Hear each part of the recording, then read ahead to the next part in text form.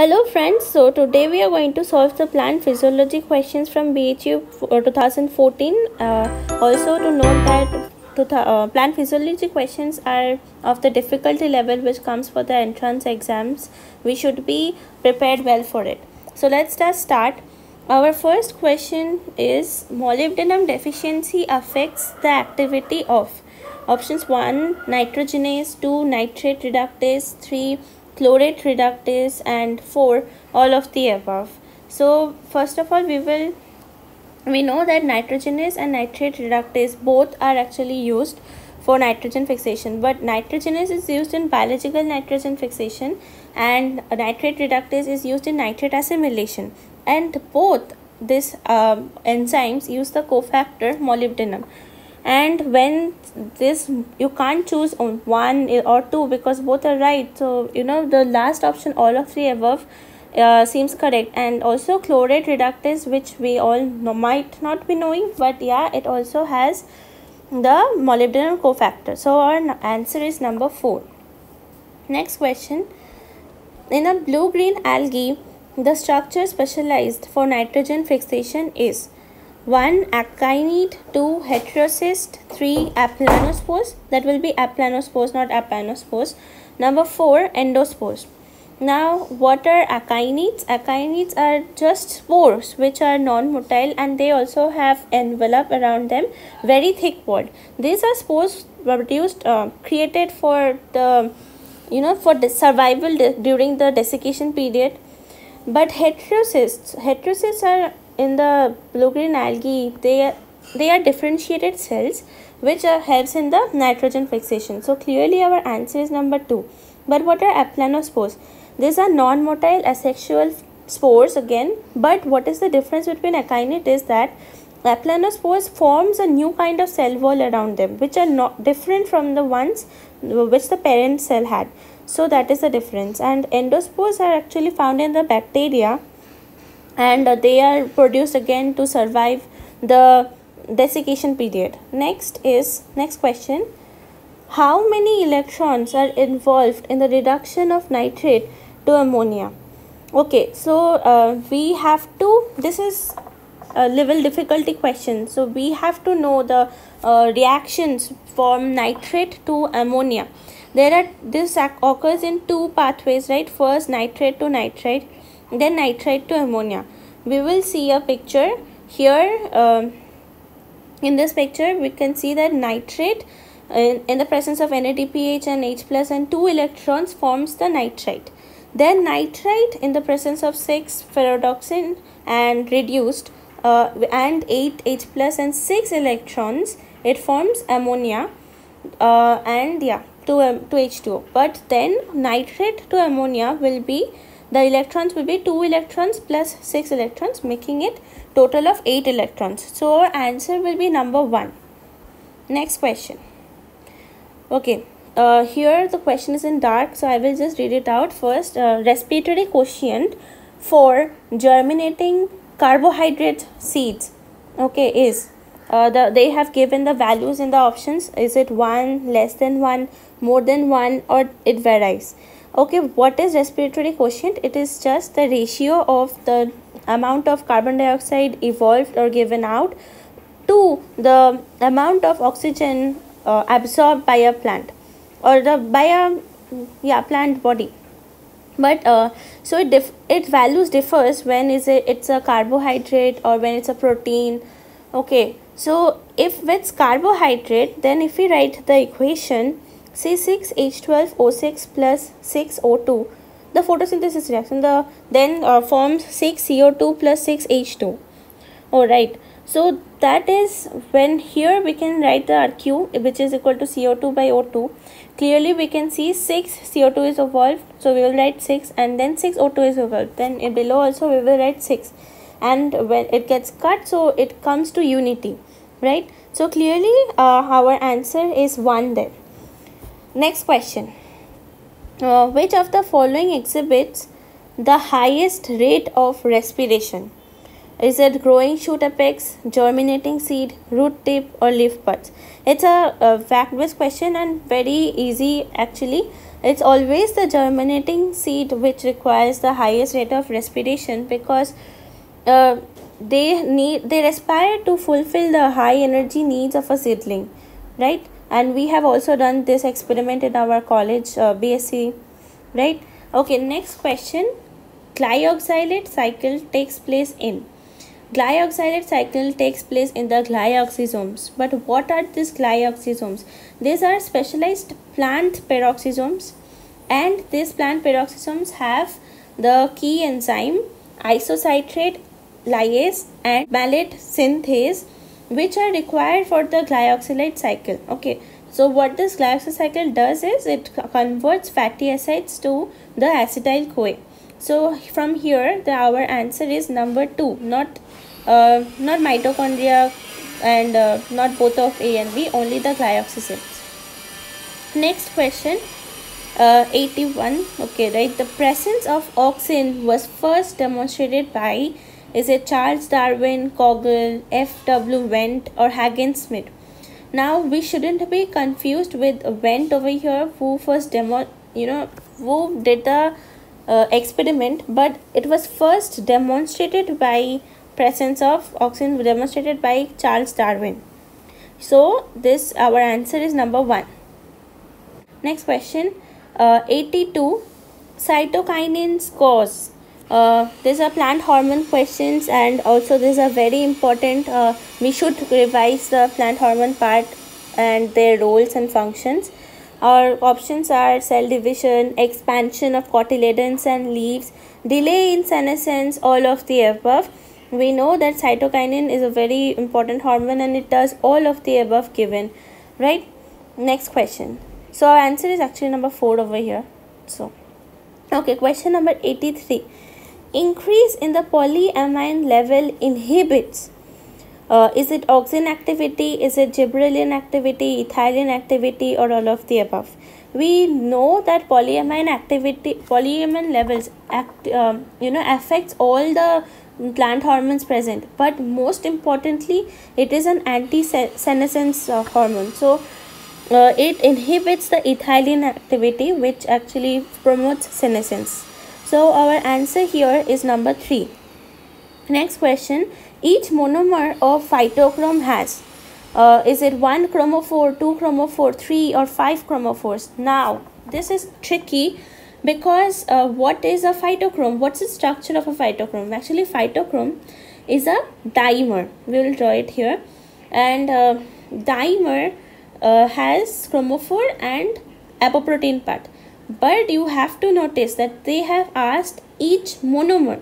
So among the two dimers we are talking about only one of it one part of it because they have asked for a monomer. And one monomer itself has one chromophore and one apoprotein. So here it won't be two chromophores but one chromophore. So be uh, careful. One is the correct answer. Okay next question translocation of water and mineral is. Uh, is it apoplastic? Is it symplastic? Is it both a and b or none of the above? Translocation of water and mineral has no barriers and it uh, translocation of water is both apoplastic and symplastic. Okay so our answer will be number 3 both a and b. Next question allosteric enzymes for which substrate and modulators are identical is called what is it homotropic uh, heterotropic isotropic or mixotropic well since the, you have to be careful about the word they have said it is identical so we will go for the option homotropic. Our answer will be number 1. Next question. Okay, uh, solute if mixed with water. Is it, does it, what it does to the water potential. So basically they are asking the effect of solute on water potential that is also termed as solute potential or the osmotic potential. Now when um, solute is mixed with water, it actually binds with the water molecules and therefore it reduces the free energy of the water. And when the free energy of the water is reduced, the uh, low, it lowers the capacity of the water to move and do its work therefore in order in this way it lowers the water potential answer will be number 2 next is guttation. Guttation results because of what? Actually uh, in night when the soil is moist and root absorbs the water root continuously absorbs water. So when there is extra water absorbed in the plant and it is not utilized by the plant at night so due to this root pressure cost, there will be a root pressure and that results in squeezing out of the water from the leaves or the blades of the plant in the form of water drops and this uh, are actually released from the xylem sap right so basically guttation is just similar to root pressure. It's just due to root pressure. So our answer is number 3. Next question. Uh, pumps are characterized as transport proteins across the membrane linked with is it NADPH, is it ATP, is it NAD plus or ADP? From uh, any protein which uh, acts as a pump requires ATP, right? So our answer will be number 2. Okay, next question. Which of the following energy rich phosphorus compound? Phosphorus compound is known as the universal currency of energy right? Uh, we have been learning this since class 5 that the energy currency of a cell is ATP so our answer is number 2 that is adenosine triphosphate. Next question 93 quantosomes are related with what uh, is it respiration photosynthesis transpiration or beta oxidation? Well quantosomes are particles which are found in where? In the thylakoid membrane. To do what uh, they consist of the chloroplast and where the photosynthesis takes place. They are composed of lipids and proteins that include various photosynthetic pigments and redox carriers.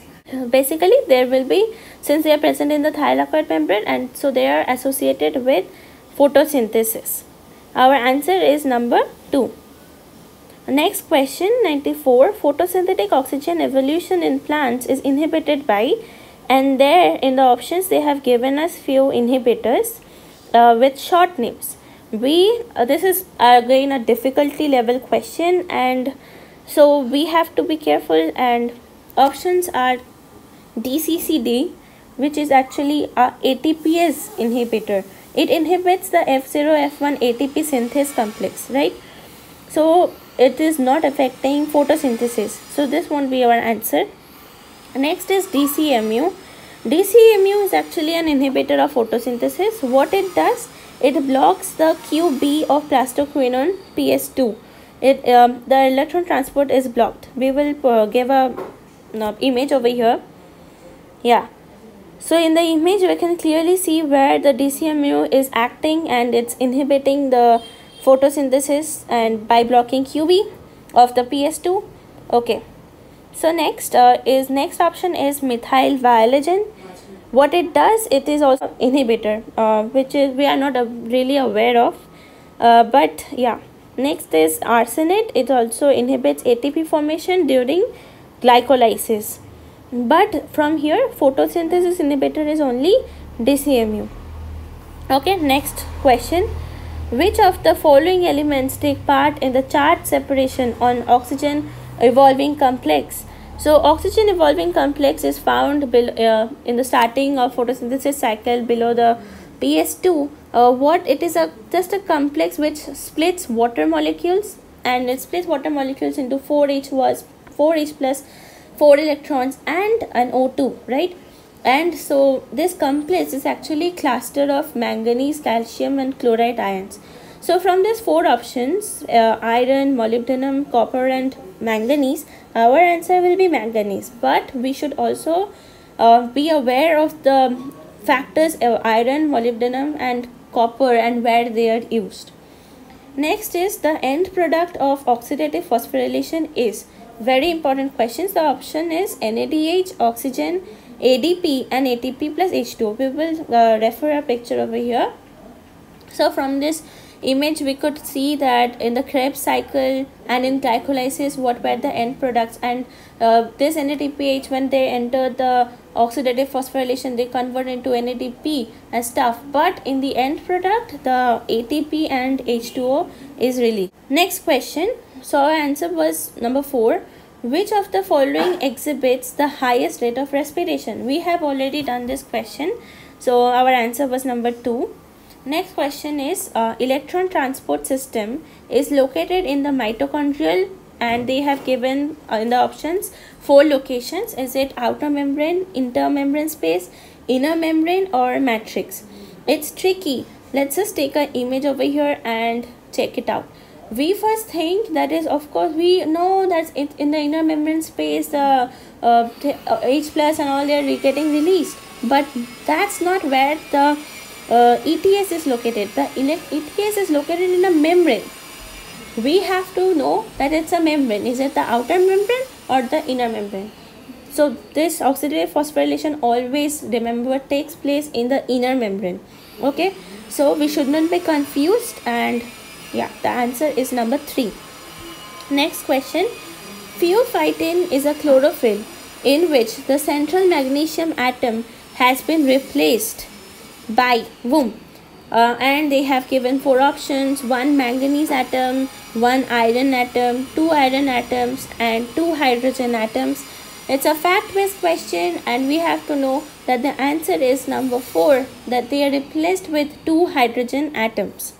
Next question. Active transport of solutes across a membrane against their gradient of electrochemical potential.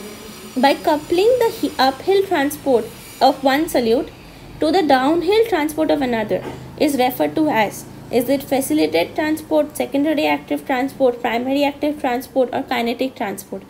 Well, facilitated transport is not right because it's a passive and not related to active transport. But secondary active transport is the right answer because is secondary um, active transport's definition is just given in the question. So here our answer is actually number two okay so the next question the NODB enzyme the NOD factors uh, which is which we find in the chapter nitrogen metabolism right uh, is encoded by NODB gene is what it's a difficulty level question and our answer is that it is a chitin oligosaccharide deacetylase that removes the acetyl group from the terminal non-reducing sugar. Our answer will be number 1. Here we have ended uh, 2014 questions only but we have answered 22 questions. So this number of questions is huge and huge marks is dependent on it. Uh, revise well. Thank you for watching.